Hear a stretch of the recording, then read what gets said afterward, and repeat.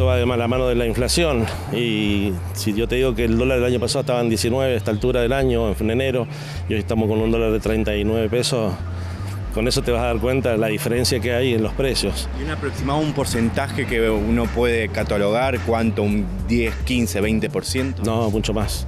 Supera el 50% de promedio. Supera ampliamente el 50% de promedio.